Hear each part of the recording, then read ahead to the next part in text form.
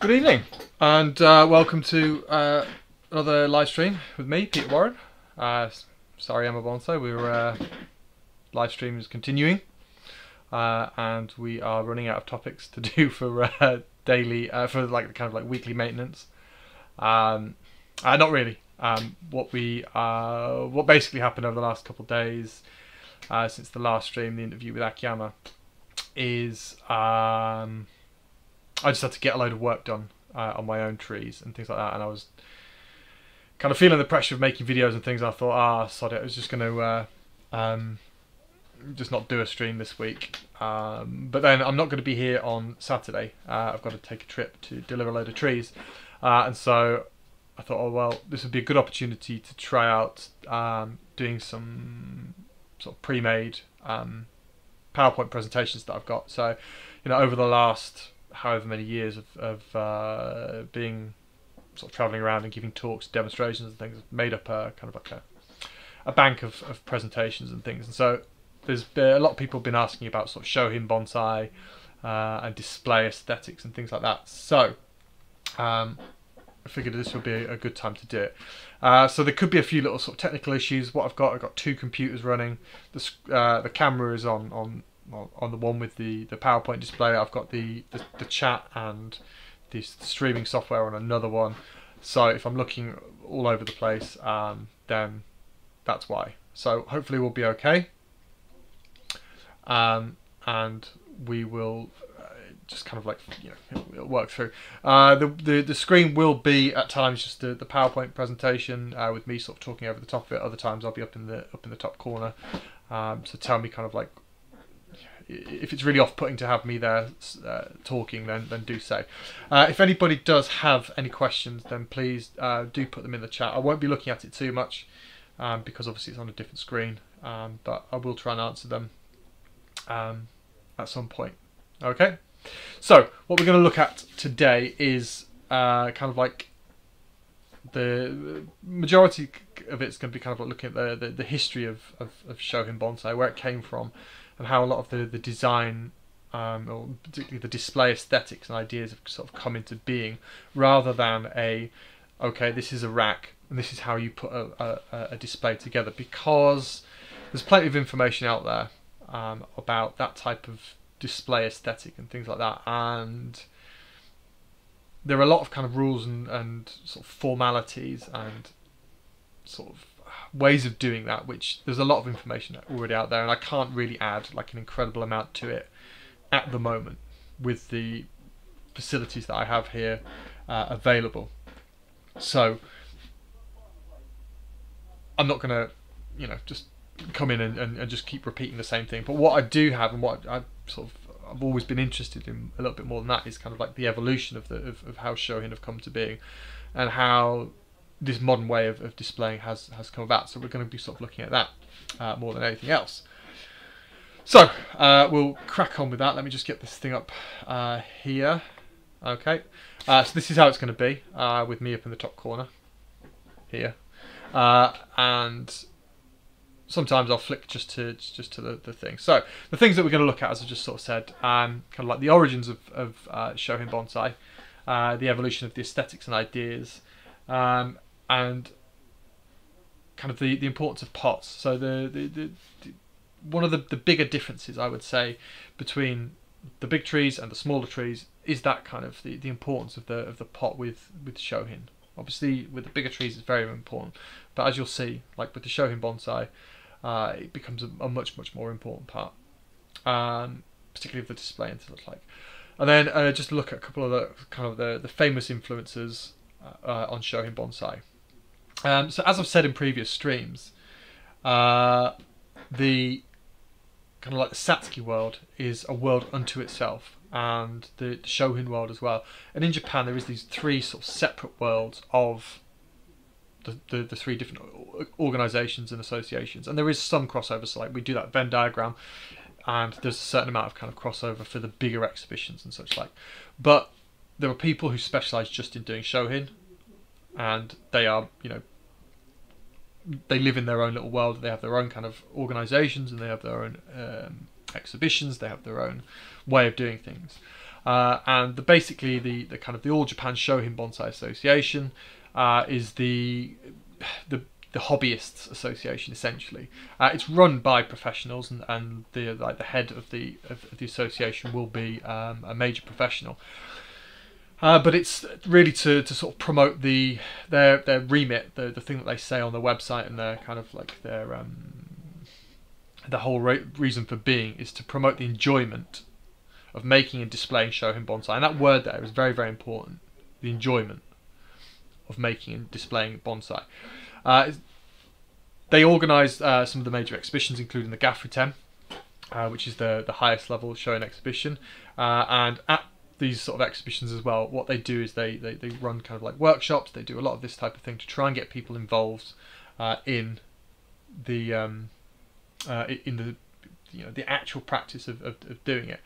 Uh, as I said, the, the biggest exhibition that they run is called Gafuten, which is held uh, in January uh, in Kyoto, and it is like the, the, the, the, pinnacle of the the Shohin bonsai world. Uh, the you know the the finest trees, the finest displays get put on on display there, um, and it's not just the you know, the Shohin trees, but also what we look at what we call today as the the mame size or the the bean size trees. Okay. In addition to that, um, uh, there's another association which was created before the the, the amateurs association, as it were, uh, the the Shohin Kumiai, which is basically the the professionals um, union. Okay, although it is open to a certain extent to to, to semi-professional amateurs. Um, and they're the kind of people who organise auctions, the sales areas, and such like that. Uh, and this kind of like the differentiation line between sort of semi-professional amateurs and sort of full, you know, professionals is it's a very grey area in, in in the Shohin world. In the in the larger bonsai world, the normal bonsai world, should we say, it's very very obvious.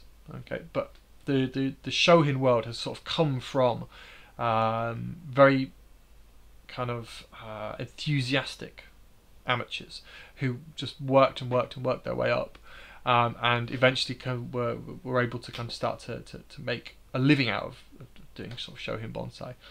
Uh, and so it's always had this kind of um, sort of semi-professional uh, element to it. And so if you go to, to, to any of the auctions, there will be uh, a number of kind of like enthusiasts there so sort of semi-professional enthusiasts who create a lot of the material themselves and so you'll see these people bringing in you know big trays of uh, material which is all identical you know sort of 15 20 trees all made the same sort of near enough.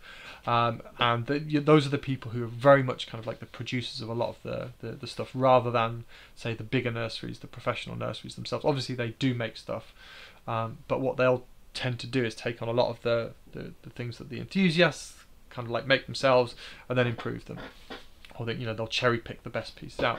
And so this kind of relationship we talked about it in the in the akiyama stream as well this this relationship between the, the integral relationship between those sort of enthusiasts who are very um, passionate about it and the professionals is very very close uh, in the in the shohin world.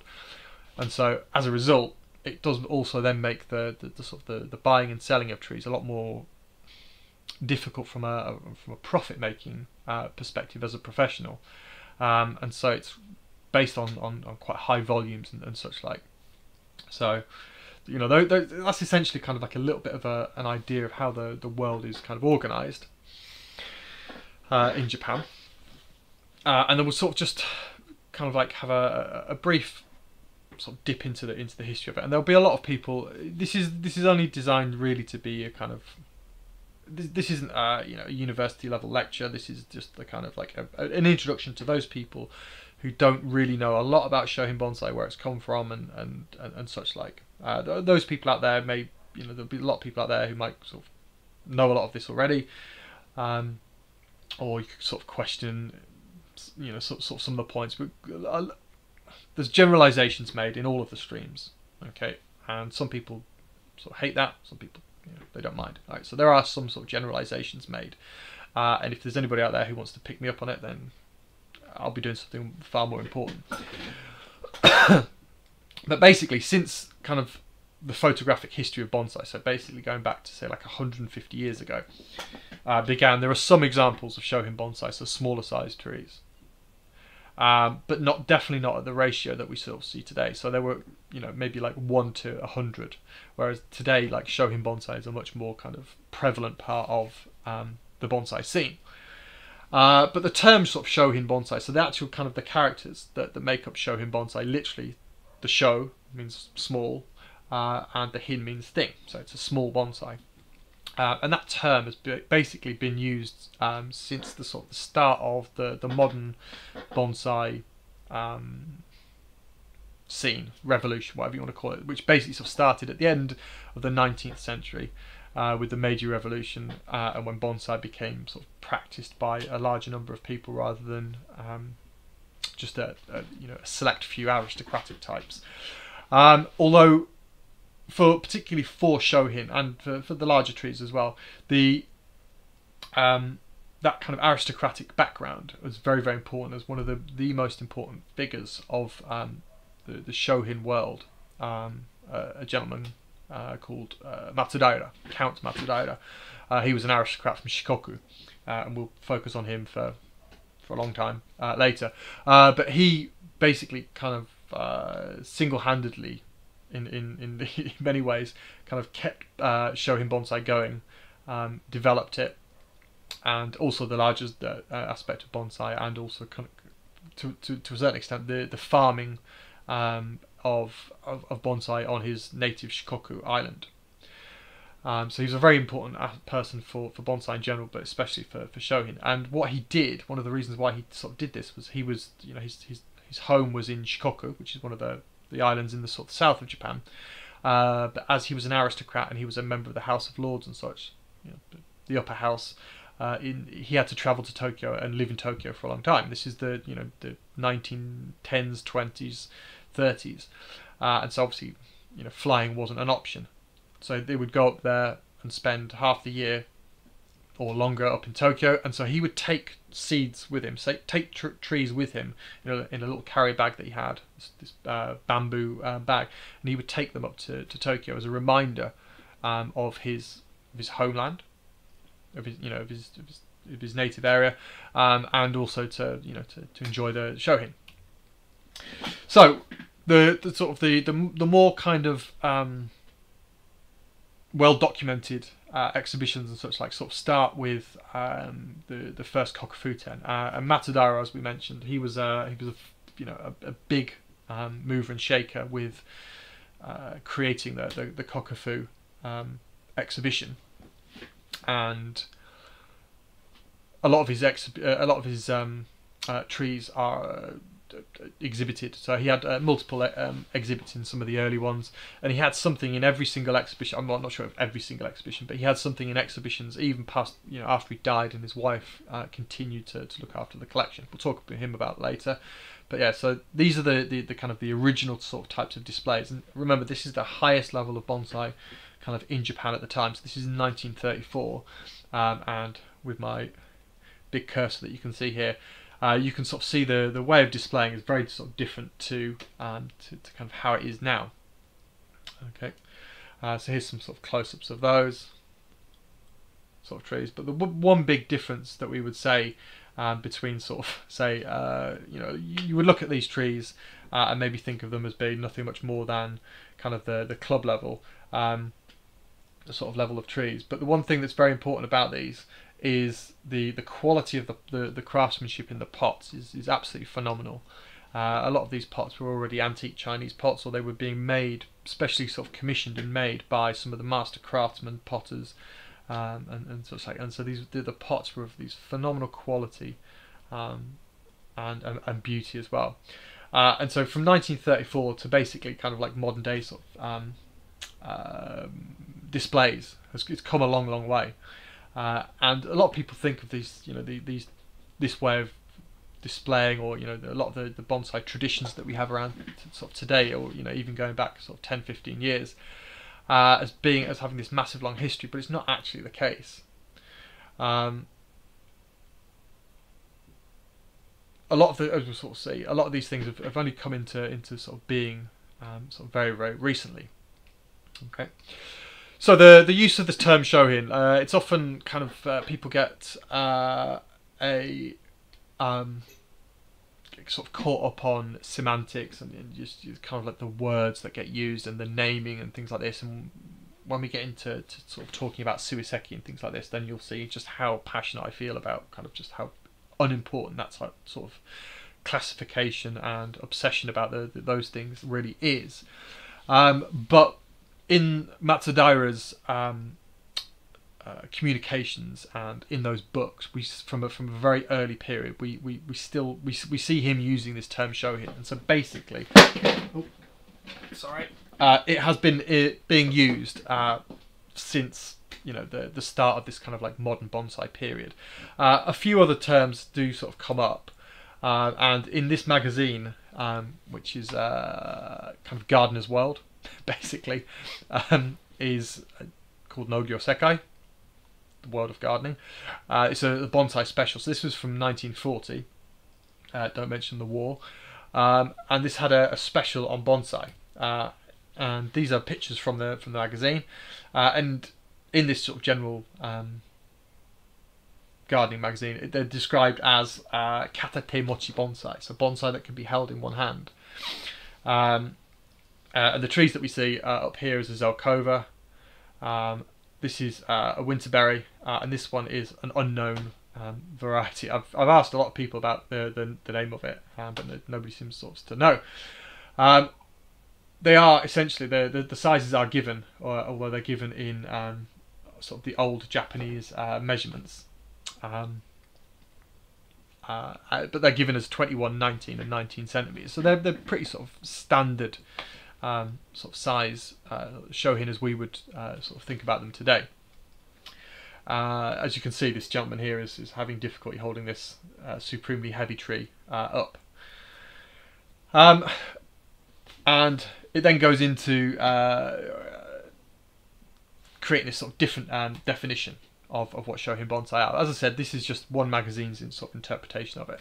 Um, and these this is where it sort of, sort of calls them shohin. So here's the characters for shohin. So that's small, that's thing, bonsai, um, and these are all kind of like uh, sort of about 13 centimeters tall. As I said, this is just one interpretation of, of, the sizes and things like that. So if you've ever heard of any other names, you know this is kind of like potentially where they've sort of come from.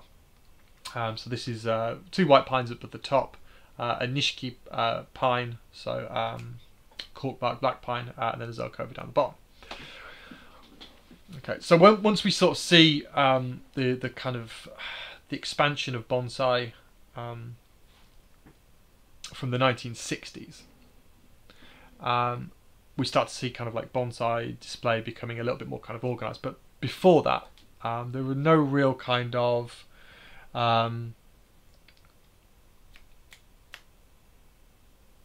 what's the word I was looking for? Guiding principles is written there in front of me. I was trying to find a different word, uh, but there's there's there's not a real kind of like uh, massive amount of thought uh, to uh, to kind of like how things are, are, are going, even though they are um, kind of like at the highest sort of point.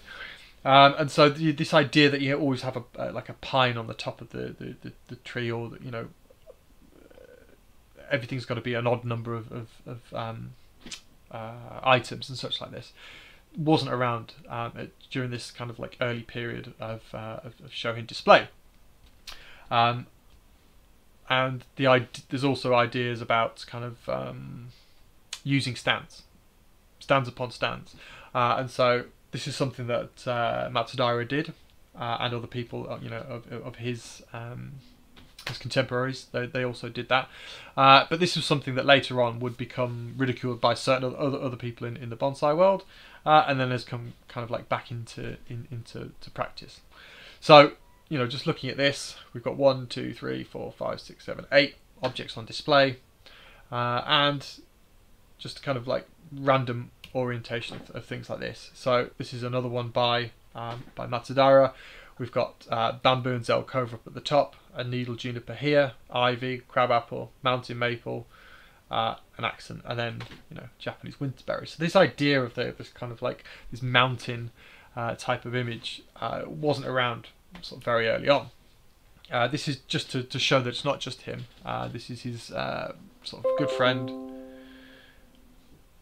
Okay, thank you very much for that. Um, uh, a, a, gentleman called Sakai, who was also a very um, well-known uh, Shohin bonsai enthusiast at the time, and you can sort of see, you know, directions of trees going off in all different um, uh, sort of ways.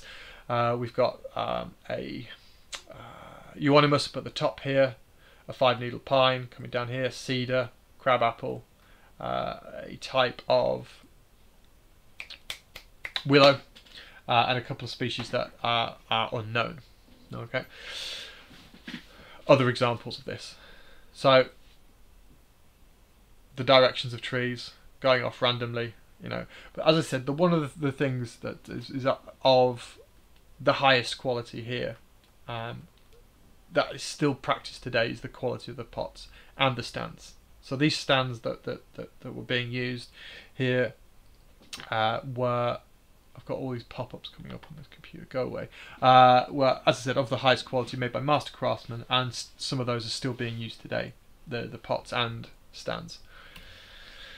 So obviously that's kind of like the pre-war period. Um, we get into the into to, the kind of the, the you know bonsai sort of disappears during the 40s and, and 50s to a certain extent, and then once we get up into into the 1960s and 70s, uh, Japan kind of comes out of that post-war slump uh, it goes through the, the economy booms, uh, interest levels of bonsai just sort of uh, you know get much much more uh, sort of higher. Uh, there is um, you know techniques become developed, professionals start to, to be able to make a living from doing bonsai, uh, and we are getting um, mass production of trees rather than just you know a few enthusiasts sort of doing it in their own backyard. And, one of the the other things that really kind of uh, that, that helped the, the development of bonsai just in general, but especially with Shohin, is the the publications, so magazines and stuff like that. So people were doing things and it was getting shared, and uh, you know people from around from around Japan were able to see what was going on. Uh, and there was one magazine which was really really good, um, and uh, Mr. Kobayashi had uh, the entire series of this. It's called uh, Shizento Bonsai, so Nature and Bonsai. And this was like a really hardcore magazine. There was loads of kind of text in it. Obviously, I couldn't read it all. Um, it wasn't like the, the kind of picture based, just general random commentary that, that, that a lot of magazines have, have become now. This was like essays, it was sort of quite in depth text, it was an educational magazine of the highest order.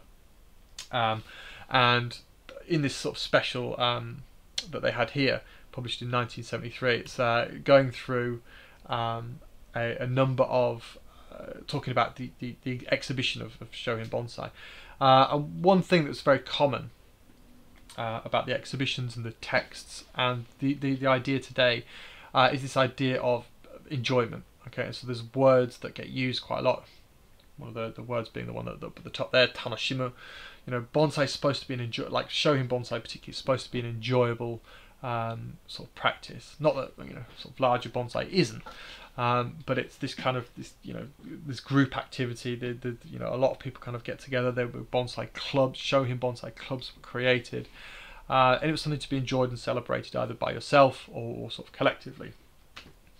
Um, this would have been uh, this was a you know a picture from that magazine and from that period, and this would have been like the the highest level of, of kind of Shohin bonsai at the time. And so even in the you know in the early 70s, we're starting to see that type of really high quality tree. You know this sort of exhibition, this sort of display here wouldn't look massively um, out of uh, place um, today. Okay, so this this gentleman would be sort of considered to be one of the the, sort of the, the highest level of, of bonsai, but not everybody was at, was kind of at that level. And what we see is, uh, in this magazine and uh, in other texts as well, uh, pictures from like the club shows. So all of these little small clubs that are you know sort of dotted around the country um, had exhibitions and, and the pictures of them put up in the magazines and such like that, and uh, it attracted a lot of people to to, to, to, to Shohin bonsai. Uh, and also the kind of like the, the idea of displaying trees um, as a way of enjoying them. So displaying them for yourself, or you know, as it you know this gentleman is doing here, enjoying it by himself, or as part of a uh, you know kind of like a, a, larger sort of display, you know, a, a, exhibition sort of a thing. Uh, and through this act of, of, of displaying, a lot of experimentation uh, occurred, um, and the ideas about how to, to, to, to display Shohin bonsai started to really kind of like come into to practice. So some of the um, uh, the, the experiments and, and things um, have were, were, were quite good. So you know this this display here is nicely well balanced. Um, you know if you put that out today, it wouldn't be massively embarrassing. Uh, you know there's some sort of similarities in the heights and things like that, but it's you know it's a it's a nice one, two, three, four, five point display. It's pretty you know well balanced and and uh, and organised, whereas this isn't. You know, so not all of the ideas about the um, the, the, the, the displays are um, at that time you know a, a great idea. Uh, you know, just mishmashes of trees, and it's not just one or two. You know, there's a there's a lot of it kind of uh, sort of going on. Um, but from that kind of like chaotic way of, of, of, displaying it and just people kind of just, just doing it and having a go, um, we start to see um, the good displays coming through, people learning about how to do it, learning that there's you know like ways to, to arrange trees in, in such a way to, to, to make it a um, to, to, for there to be kind of like a narrative for, for it to be an aesthetically a pleasing um, display because you know frankly that's not massively aesthetically pleasing um, whereas the, the, the, the, displays of, of you know the, the modern day displays you know generally and they they they very much are. Uh, and so this is some uh, some some pictures from that uh, 1973 uh, magazine of kind of like how to to kind of um, to to go through building um, sort of Shohin displays and talking about the the relationships between all the different um, the items and things like that. Uh, and so there are tiny little differences. So you can see um, the the table on the table up at the top here to give that one height. You know, sort of positioning in you know different areas and, and, and what kind of effect that has on on the um, on on, this, on the displays and such like. Uh, so during this kind of period in the in the, in the sort of the seventies, we start to see you know like a, a real definite um, formulation of ideas, and so this is that mishmash of trees uh, in in the sort of the late sixties, early seventies, uh, and from that the ideas sort of get formulated uh, down into into this uh, modern day um, Gafuten level uh, Mame sort of size display. So it's not a massive uh, sort of time frame between those two, um, but you, you can sort of see where that sort of come from. It's literally within you know a, a generation or two of, of, of, of enthusiasts.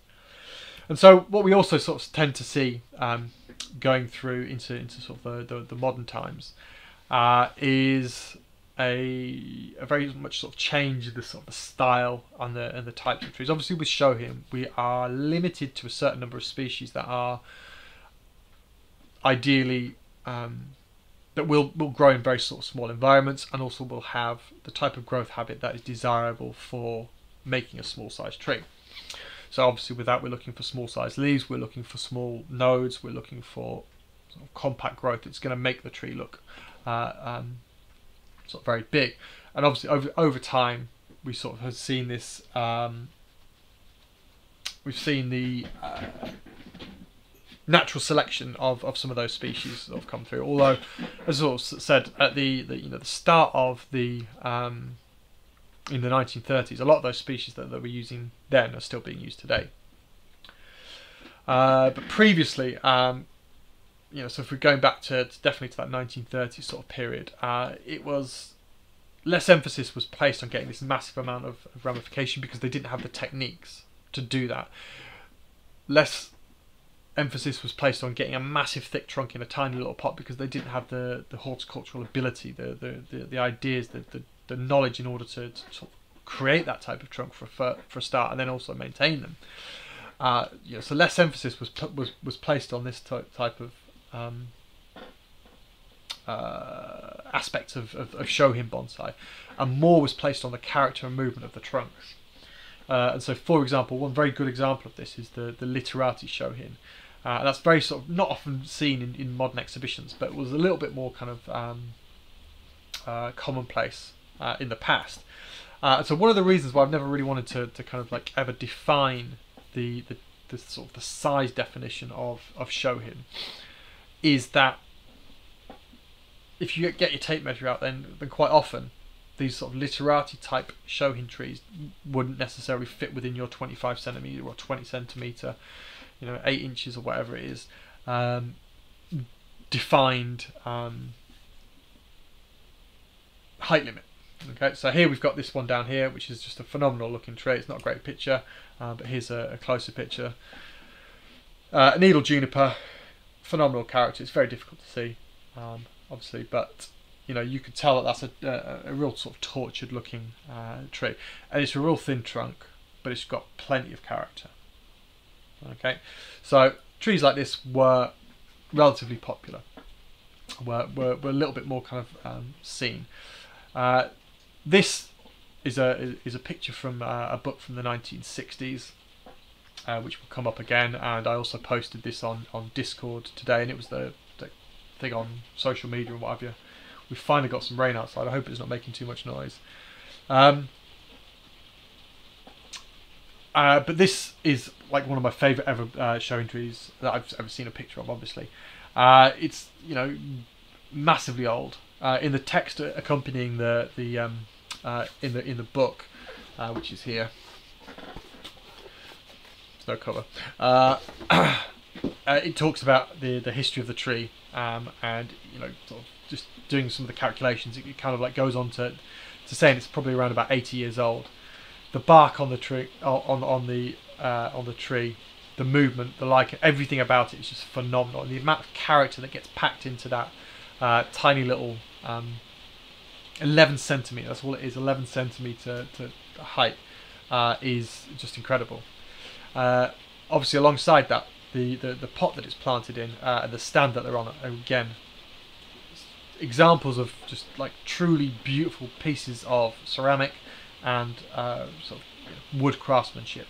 Uh, the pot is a an antique, so this would be what's known as a kowatari uh, Chinese pot. So this is going back, you know, sort of 300 years or, or more uh, and you know you just don't see them. Uh, you didn't see them then, you don't see them these days. so you know, modern shohin has, has, sort of moved away from that because obviously trees get bigger. you can't stop them from growing, uh, and you know these are some of the, the, examples of what we see as as being um, sort of shohin today. Uh, and the kind of the aesthetic and the idea with, with a lot of these trees. These are all pictures taken from uh, a book which is known as Miyabi, um, which is the, the kind of the modern masterpieces of the Shohin uh, bonsai world. Uh, both there's both pots and trees uh, contained within, and these are just basically trying to sort of fit as much as they can within a pot. So you can see like, like the nebari of this is just really forcing its you know it's it's really sort of tight in the pot there, uh, and trying to get a, you know a bigger sort of thicker trunk on on, on as possible. Uh, and so that's kind of like how sort of a lot of, not all, but how you know the the modern sort of shohin kind of aesthetic has come into being because people got better at growing trees. People the techniques have improved, and trees get bigger. You know, it's very difficult to keep something that small for that long. It's very very difficult, which is what makes it so special. Um, whereas it's a little bit easier not, it's not that easy, but it's a little bit easier to, to, to, to grow these and, and, get them sort of bigger. But one of the things that that we still sort of see today um, with sort of shohin bonsai, uh, although the trees may be getting a little bit bigger, is this idea of, of playfulness and the enjoyment of, of shohin bonsai. Uh, so I'm not going to dwell on, on modern uh, trees and such like too much. Um, but the, the, the, the, playfulness and the a um, the enjoyment aspect of, of shohin bonsai is still uh, prevalent even today, even at the highest level, you know, the, the Gafuten. Uh, and this is um, uh, some pictures that Mark and Rita Cooper, who are big shohin enthusiasts from the UK, um, have uh, arguably the some of the, the, the, better trees in Europe. Um, and they travel to Japan um, at least at least once a year in, in November and spend a lot of time in the Shohin world.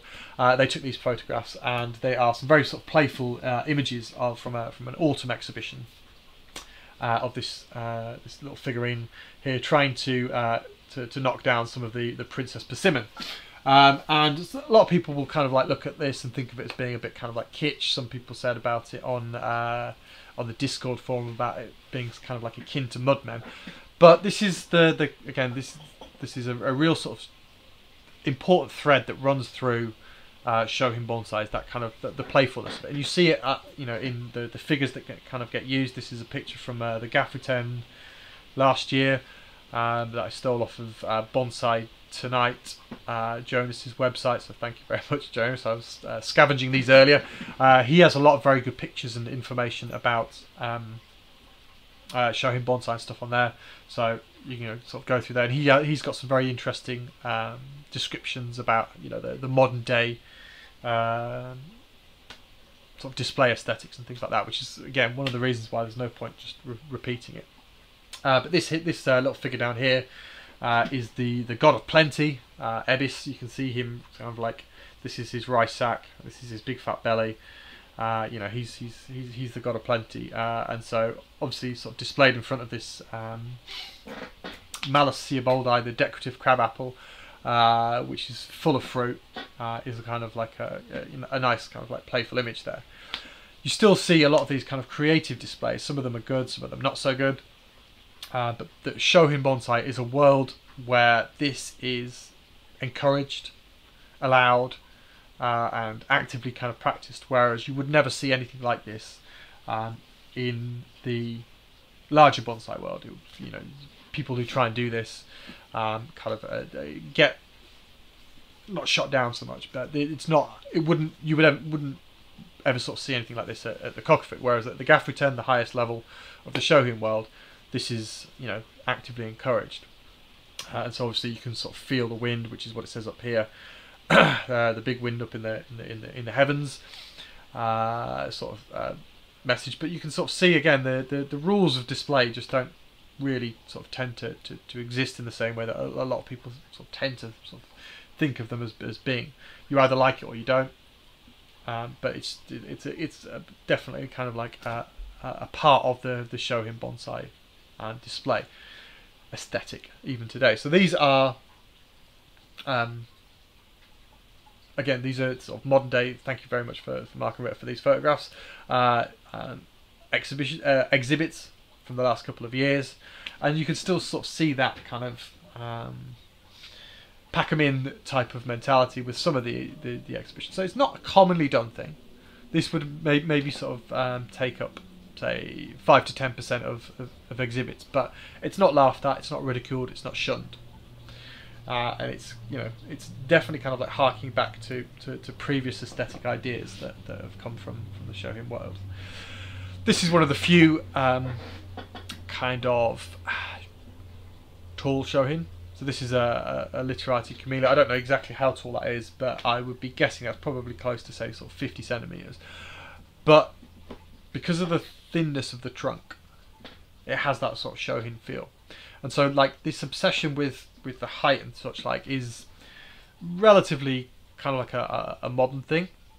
It's more kind of like a I would say like a, a feeling. If it feels like a Shohin, if it fits in with that multiple tree type of, uh, of display, then it's all good. I put a picture up on my Instagram of a tree of the same sort of height on it on its side. It was only 15 centimeters tall, but it was you know 80 centimeters long. You know, technically, if you go by the, those the, the that height definition, that would that would classify as a Shohin, but it isn't.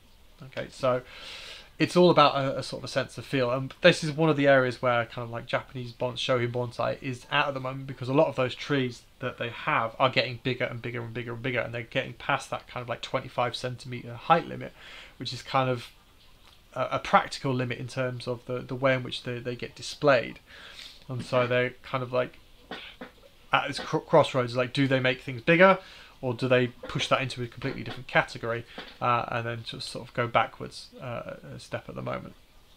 So, um, you know, like this is the, the, the kind of like the height limit of, of, of a lot of those trees now. We once you, you, you once the trees start getting a little bit bigger and bigger, it's difficult to fit them in the racks.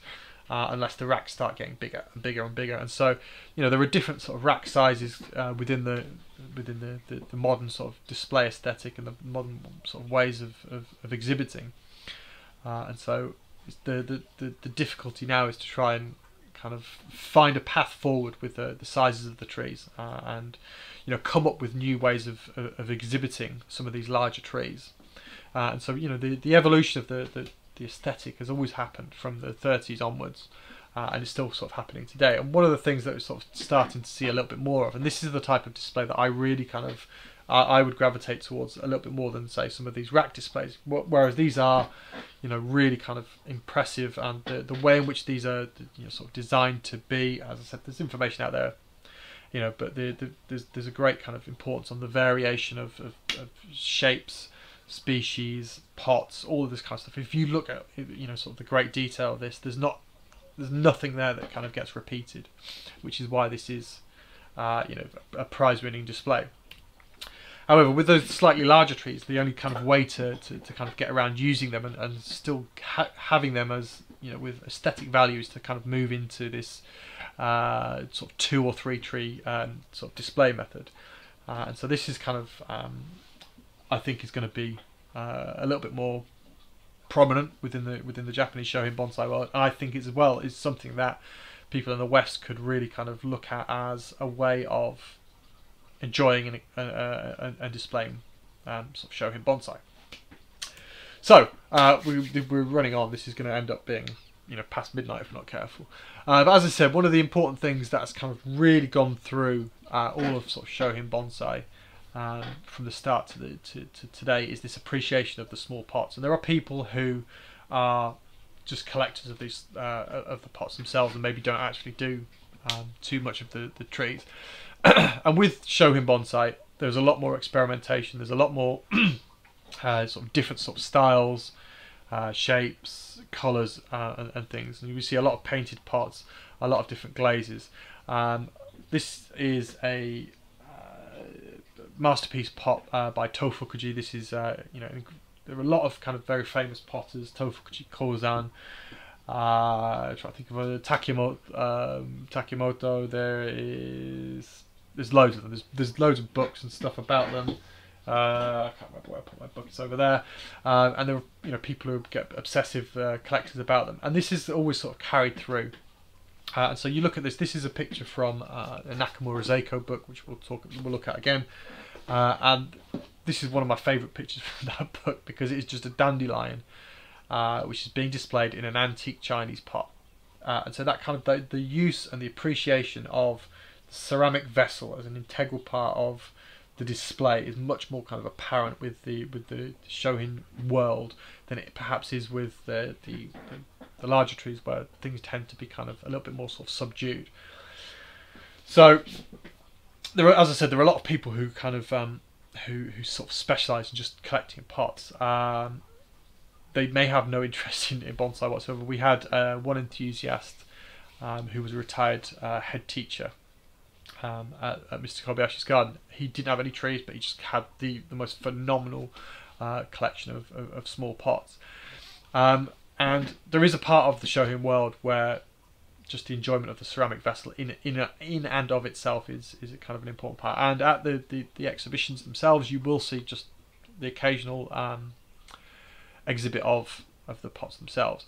Uh, and these famous pots, some of them will, will change hands for, for, for phenomenal amounts of money um, and a lot of them now are actually um, beginning to, to, to go abroad, particularly to um, uh, Taiwan and uh, and America. There are a number of, of, of large uh, kind of collections that are beginning to be amassed um, in, in various different places because people just kind of get into this, it really appeals to that kind of collector mentality. Uh, and people want to get the best examples, the the rarest, uh, you know, sort of pieces because these are just in and of themselves are phenomenally beautiful works. Uh, there was one book which um, was published, I think it was in the, uh, I'm not going to make a guess, but sort of late 70s, maybe early 80s. I should have it, and I should should know. Um, but uh, it's the the interesting character of small bonsai pots, and this was a this is quite a hard to get book, um, and this was the the collection from uh, this guy, and a lot of those pots have subsequently featured in other collections. Uh, and so he was, you know, these early collectors would have been around sort of commissioning pots from, from a lot of these potters themselves and buying direct from those potters. Um, and sort of keeping the uh, the ceramic world, you know, keeping those people making the pots. And so that again, that relationship between the enthusiast and the professional, again, that kind of all sort of merges together. Um, so here's just you know some of the pictures. Uh, a lot, some of these are antique Chinese. Uh, others are more at the time more modern, um, sort of Japanese uh, painted pots and such like. Uh, this is a, a, very old Chinese pot, um, which Mr. Kirby actually still has uh, in his collection.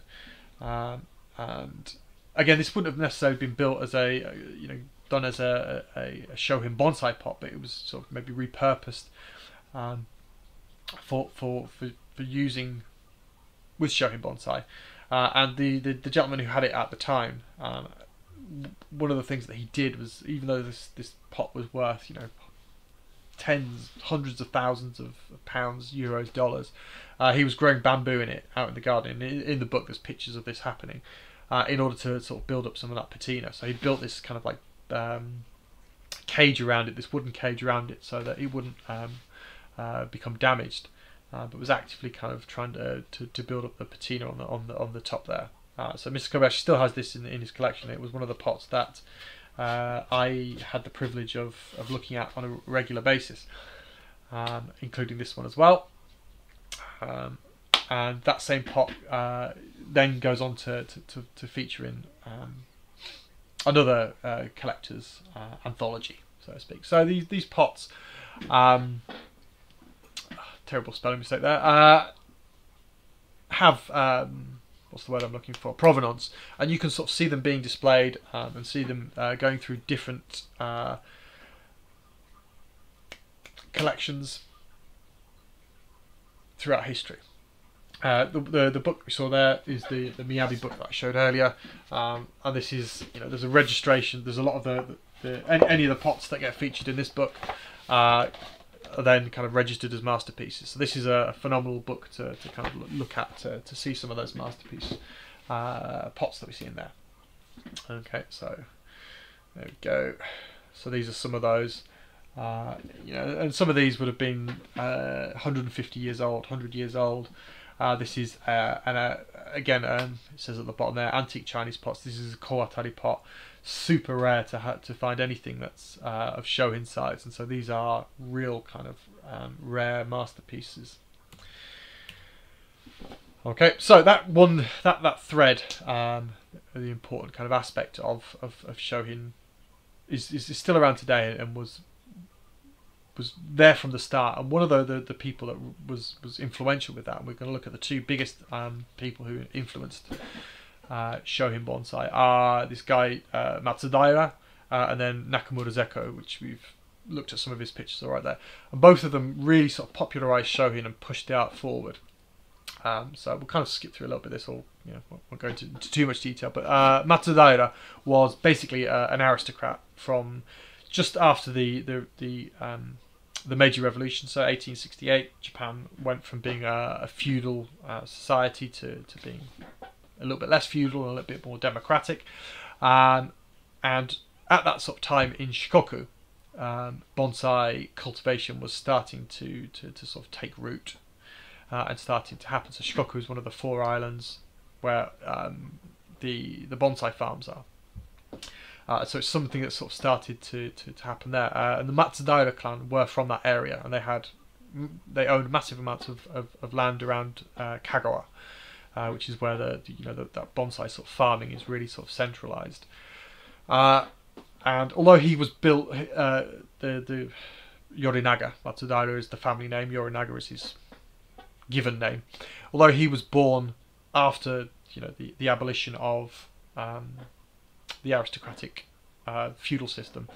Uh, he was still very much, you know, they, they were landowners. They, he was upper class. He was a, a, a very sort of successful politician. He did a lot of good uh, in both kind of like education um, and health reforms in the in the kind of the 1920s and stuff like that.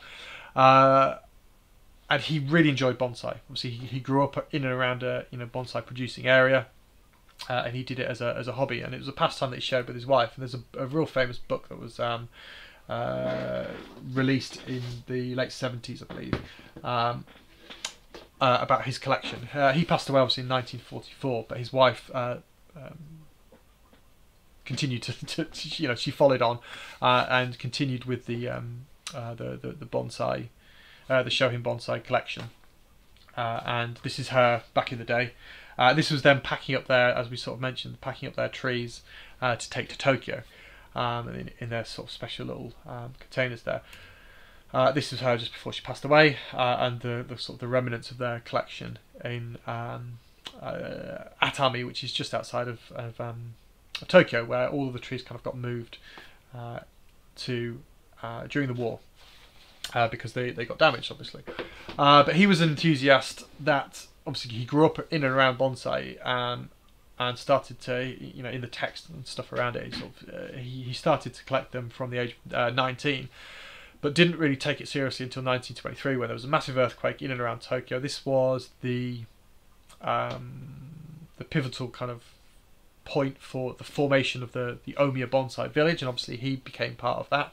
Uh, and he was a, uh, a, kind of a leading patron of a lot of those nurseries, um, both uh, in and around Tokyo and back in his in, in his home area. And so he, he, he was supporting these nurseries, he was allowing them to kind of like function uh, and his his collection as a result obviously sort of grew um, bigger and bigger and bigger. And it wasn't just the, as I said, it wasn't just the the, the bonsai professionals themselves um, that he was helping to support, but also the potters. And so he had a, a close relationship with um, some of the the famous potters, Takemoto. Uh, I think was one of them, and um, he was commissioning a lot of pots. Uh, obviously sort of going forward from, from there, the, the Kokufuten and the, the national associations that were sort of starting to, to come into being, um, he was sort of pivotal in their creation. Uh, and he was chairman, he, he, was like the honorary chairman from, from the Kokufu kind of uh, their group, uh, their association that they made uh, until he died in 1944. As I said, uh, during the war, a lot of his trees got moved out uh, to um, the, the, their summer house, as it were, uh, out in Atami, which is on the coast, um, about an hour and a bit out of Tokyo by bullet train. Uh, so these are the you know the pictures from the, from the book that was made. Uh, and you see all of, all of these pots again. These are the super famous pots that are still being used, um, and they are kind of um, you know a lot of these pots would be worth, excuse me, even at that time, you know several thousands, uh, tens of thousands of pounds, dollars, whatever you, you can count it in, it's still a lot of money. Uh, but they were being used, and uh, the the bamboo pegs were there to, to stop things from being blown over and knocked over, um, to keep them. Uh, and when you look through the through through the book, um, which is a, a very beautiful um, piece of literature uh, and some great photography, and this was kind of like uh, you know sort of made in the um, in the kind of like the, the heyday, the, the boom period of of uh, um, Japanese kind of uh, bonsai and publishing and stuff like that. Uh, the, the the pictures and the idea that you sort of see is that this again that, that the age and the character are, revered rather than this incredible kind of uh, technical um, ability with the with the trees and making like phenomenal kind of amounts of um, ramification. And you will see some of those trees. You know, there, there's a progression from the Kokufu in 1934 back up until the 70s uh, and such like. And so the, the, the age and the, the, the character uh, is very much uh, uh, an important um, aspect. And so we've got this uh, phenomenal um, hawthorn, a picture of which came up previously. Um, I should have them both sort of together. Um, but yes, incredible character uh, and age within, within the trunk. This is what the you know that older generation of uh, of Shohin enthusiasts really um, looked for. Uh, this is a um, 12 centimeter tall uh, prunus uh, cherry tree, over 30 years old, incredibly compact, and this age and character uh, that you can sort of see within the within the, the trunk, and this beautiful pot. Uh, so things from the from the Matsudaira collection um, you know, by modern standards, you would look at them and, and not be massively impressed by their um, by their structure, by their shape, by the amount of ramification that they have. But it's that character that's that's, that's, that's kind of integral to them, which has come through tens, twenty, 30, 40, 50 years of struggling within a tiny little uh, pot. These haven't been put into big containers and grown to, to be massive. They've been struggling in these tiny little containers, um, barely growing every every sort of single time, uh, every year. So, uh, the part of his collection, uh, all these uh, tiny little pots. It's obviously he was a you know massive pot collector. His, his wife kept them all, uh, and there were Shohin sized books, suiseki, vases and things like this. And if you can see there, it's like 2.8. These books are 2.8 centimeters by three centimeters. You know, these were things that were used uh, in displays and such like these tiny scrolls uh, that were used. He had an unhealthy kind of um, obsession with uh, with tiny little things, um, and so you know these uh, mini sort of tokonomas were you know again part of his collection, part of that idea um, the screens that were used for, for, for displaying there. Um, so it's a, it's a slightly different world to, um, to, to that big rack uh, you know, type of displays that we see today. As I said, this is you know quite a sort of a historical document rather than anything modern. Uh, so these uh, obviously these items, many of them are still uh, in in use today. Uh, so there's the man himself, um, bathing in his, you know, enjoying his collection there. Uh, so there. Uh, so yeah, he was one of the, the, the big kind of um, influences. And then the, the, the second one uh, was this gentleman called uh, Nakamura Seiko, who was a super famous person in the 60s. Uh, he was an actor, he was on TV all the time, he was a kabuki star, sang opera, uh, and he was a big bonsai enthusiast in the early 60s. Um, he had been practicing bonsai for a long time, he published a lot of books. Uh, and he used his position to kind of popularise uh, him. There he is. Um, and there's a really great picture of him smoking a uh, in, in, in the book. Uh, there it is. I should have had that up. So I bet he was a, a an interesting bloke to sit down and have a chat with uh, about trees. Um, but you can still still see that even in the in that sort of 60s um, sort of period, uh, that aesthetic, that idea is still around. Um, we haven't made that jump up to um, to the to the bigger and thicker trees just yet. So small, the the, the trees are generally a lot, little bit smaller. The age and the character is, is kind of like given as um, uh, oh sorry, just lost something there. We're still on. Yep. So the age and the character is still uh, you know sort of one of the, the, the sort of focal points.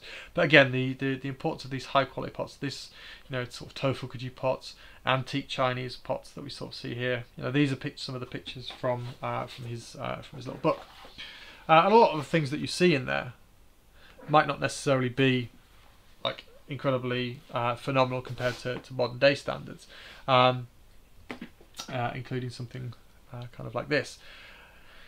But the, the it's difficult to kind of like get a sense of the the, the character that that um that is contained within a lot of those trees from photographs and without sort of seeing them in person because this is kind of like harking back to that kind of uh, the, the the mochikomi type of idea of uh, you know of, of bonsai that the, the, character that gets developed from from the years and years and years of um, I don't want to say tortured, but that, that kind of cultivation in, in very, sort of a very sort of harsh and small environment. Um, so I've managed to actually pretty much. I think this is the end of the talk. It might be. Uh, I don't know if I did do put any more afterwards. Yeah. Uh, so that's that's basically pretty much it. Uh, so that's kind of like just a, an introduction to um, kind of like the evolution of, of, of Shohin bonsai. Um, from 1934 to 2011. That's when I first made this this the uh, the, um, the the talks. I should update that 2020. Um, so in a relatively short period of time, we see this massive kind of improvement of of, of bonsai, and you know to to be fair, that that also does happen with the uh, with the larger um, trees. so that's pretty much kind of like it in terms of looking at the, the, the history and things like that. Um, if anybody has any sort of questions about what we've uh, been talking about, just put them up in the chat um, for me to answer. Um, but pretty much, I think it's most of it's sort of self-explanatory, uh, and there will be a uh, possibility of kind of like going into that modern day um, kind of uh, the rack type of display and looking at you know some of the important aspects of those types of um, uh, exhibits as we, as we know. But as with anything, as with looking at the Satsuki streams and stuff like that, it's very important to understand where things come from. Because if you don't understand where they come from uh, and like the fundamental kind of threads, the, the important aspect to them, then it's difficult to, to kind of really get a, a deeper an understanding of what's happening today. So the one thing that I think I, I want people to, to really kind of uh, understand and, and appreciate f- about Shohin Bonsai is that it's a world unto itself. And so looking at the aesthetics of larger trees, looking at the aesthetics of Satsuki and trying to apply those to Shohin is not the best way to, to approach it. It has a very important aspect of it is that enjoyment aspect of it, being playful. It gives you such uh, a wider um, opportunity. A, you know, it's a bigger canvas to, to play around when you've got multiple trees within uh, a display. It gives you a lot more kind of uh, freedom to, to, to kind of create a, a narrative within a within a a small space. The the the one sort of uh, flip side to that is the uh, let's go back to this. You know, when you have that oh, I'm on the wrong mouse. When you have this this, this rack type of um, display, there isn't as much kind of I don't want to say this in a negative way, but there isn't as much imagination that you can put into it. Whereas with the um, with the sort of the larger type of displays, you know, with trees or the you know the say the two the two tree tree displays, the uh, there's a lot more that can be can be left to the, the imagination of the viewer with that type of rack display, and, and that is it's about the details that are important rather than this kind of overall grand aesthetic um, artistic statement or anything like that, if that makes sense. So I don't think anybody's really asked any questions. I've managed to keep it at an hour, which for me I think is pretty phenomenal. Um, so uh, that went relatively well. A lot easier doing it when there's nobody in front of you than it is doing it in front of um, uh, a massive group of, of, of people. Uh, so I hope it was of interest to, to everybody. Uh, and it, there are I've got a number of different uh, sort of presentations and stuff that will come up. I did give people the opportunity to have uh, Suiseki or Shohin uh, display talking about that in the um, uh, in the Discord group, and I'd say 95% of people wanted Shohin. So uh, we will get on to talking about Suiseki maybe in July um, because uh, there's not a lot to do then. so uh, it's a lot easier to, to sort of talk about that. Um, Su- Suiseki is something I'm very, very much um, kind of passionate about. Uh, and I, w- I do want to talk about it with people. So those people who are expecting that, it will come up. Uh, and there's a number of other um, uh, presentations that I've got, which I will uh, bring up uh, in the future. so, um, uh, the Discord group Max is something which is available to those people who donate. So obviously these live streams are free, um, and putting them out there. Basically, it started off um, for, to help people get kind of get through lockdown, to help me get through lockdown, keep me sane. Uh, but essentially, they're free. If you have found this useful, uh, then I'm putting the donate uh, thing up now, uh, or it's on the link underneath. Um, so if you if you if you want to to say thank you for for all of this, then uh, then please uh, send some money. And if you do become a donor, and then you get a, a link to the, the the Discord group where people lots of uh, information gets shared peer to peer as well as me um, putting my um, giving advice and, and, and, putting in information as and where I can. So, do I like Shohin? Yes, I do. Uh, Jeremy, uh, I would say my personal preference goes towards um, character and literati and the uh, the two 3D uh, type displays personally because I don't have a lot of trees. Um, but I can appreciate the, the, the, incredible work that goes into those those multi-tree uh, displays. Uh, I would say the one thing that I do really uh, focus on is the, the ceramics as well, uh, because when I was first as an apprentice, the uh, there was still a massive boom in um, Japanese uh, small pots. Uh, Mr. Kobayashi, my master, the chief, he had some of the greatest small pots uh, around. So if you have a copy of his pot book, there's some phenomenal pots in there, and I got to hold them and touch them and see how, how glorious they were as as beautiful works of art. And so I would say that's where my uh, passion lies, mainly within the Shohin bonsai world. So. Um, I think the only thing other thing to say is that there's not going to be a stream uh, on Saturday because I will be away, uh, and I will come up with some stuff to talk about uh, on Tuesday. Uh, I think uh, it'll be. I don't know. I've got some uh, some videos. Uh, I don't know if you if you if anybody spotted, uh, but this is the the, the Hoshi no not Hoshi no Kage the um, the Hanabin from one of the previous streams, which has been potted up and I did make a, uh, some videos of that, uh, but obviously you know, as I said at the start, there's no time to kind of edit them and things like that. So I will put those uh, videos together and maybe make another Satsuki stream, or I'll just put those up as videos for the donors. Uh, but yes, I will not see you this uh, for the rest of the week, but uh, at some point on uh, next week. So the only thing uh, left to say is thank you very much for, for sitting through this. people seem to, to have enjoyed it. and this stream has been brought to you in association with Theakston's Old Peculier. Uh, because the trees that I like are both old and peculiar. Uh, so, cheers. Thanks for turning up. Uh,